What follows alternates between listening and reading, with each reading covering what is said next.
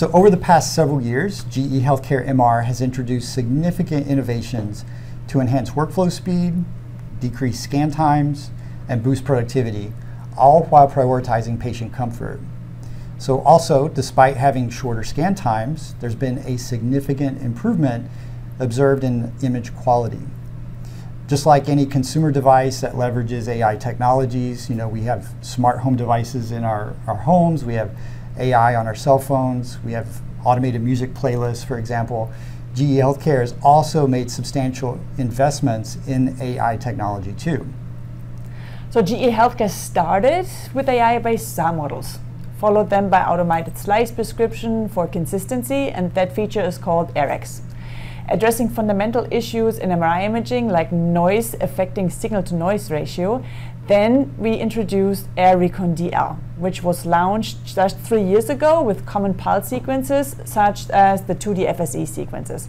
But since then, this technology has been integrated into nearly every pulse sequence within our product lineup that brings about all the improvements to all the anatomies and all the pulse sequences available, so such as the diffusion sequences, the 3D volumes, and even the propeller sequences which addresses patient motion.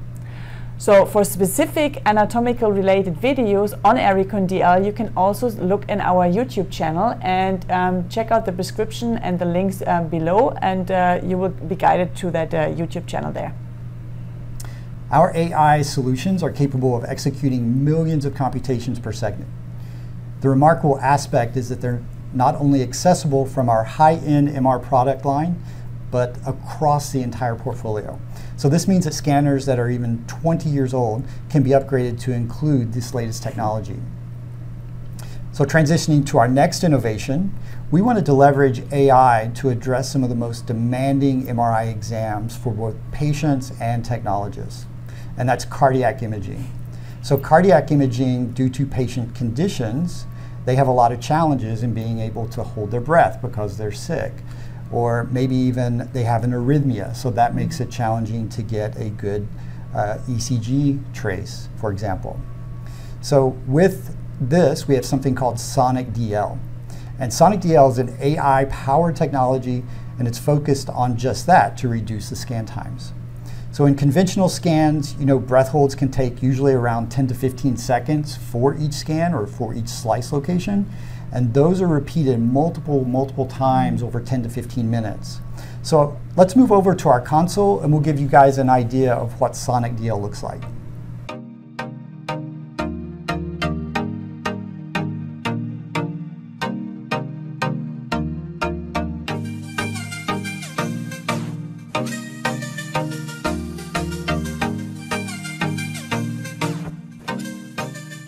So now you are here seeing us the, at the console. We just have finished our uh, patient and uh, we just want to show you here how you can verify if you have Sonic DL turned on in your protocol. So I've pulled up one of those Fiesta sequences and when you open up the sequence and go to the acceleration tab because as a reminder, Sonic DL is AI-based acceleration technique. You see here the feature labeled as Sonic DL, and then you can choose with uh, which factor you're going to accelerate those images. And then uh, let's look at the acquired images. So we look here at a nice beating heart where we've applied Sonic DL on some of the images. But first I want to point out that image here in the lower right uh, corner that is traditional without Sonic DL. So here when we look at the scan time, it was one breath hold done in 12 seconds and that is the image quality you will get for that kind of long breath hold scan time. So these uh, images beside that are all acquired with Sonic DL where you can really make decisions on like depending on the uh, heartbeat of the patient and the arrhythmia of the patient like which factor you're going to use and we go from the first image to the right where we applied AirRecon DL with 1 R, 3 R and 6 R. And scan time uh, wise, we are doing the same image uh, we did here the lower with even more uh, um, beating heart moments. In 2 seconds, four seconds, and six seconds. And then on top of that, we can even com com can combine that feature with a free breathing technique. Mm -hmm. So mm-hmm. for the patients who are really not able to to be scanned uh, at all, you can combine it as a free breathing technique. So here we are using one RDR, and the scan time free breathing is uh, six seconds.